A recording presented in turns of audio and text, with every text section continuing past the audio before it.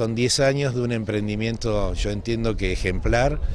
donde dos equipos de gente, encabezados por Jorge Hoffman y por quien era rector, Mario Barleta, eh, tuvieron una mirada visionaria, ¿no? de, pensar hacia adelante y que era factible construir este predio para el deporte, el esparcimiento, en fin, para la para mejorar las condiciones de nuestras comunidades, tanto sea la de la Asociación de Trabajadores del Estado como de la UNL. Eh, yo lo miro desde esa perspectiva, ¿no? desde cuando,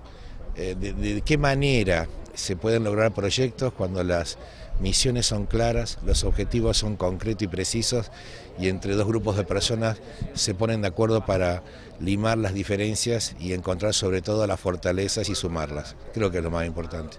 tenemos todo para darle continuidad a la pileta con la pileta cubierta en el invierno, estamos, aspiramos a poder resolver las situaciones que se generaron por situaciones ajenas a ATE y a la UNL para darle continuidad al proyecto de, las este, residencias universitarias, bueno ya tenemos nuestro hotel,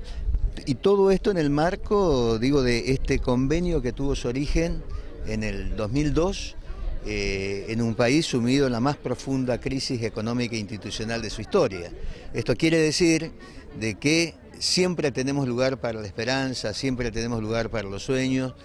y lo que sí que hay que ponerlos en marcha, hay que dar la patada inicial. Con Mario Barleta, en el 2002, cuando firmamos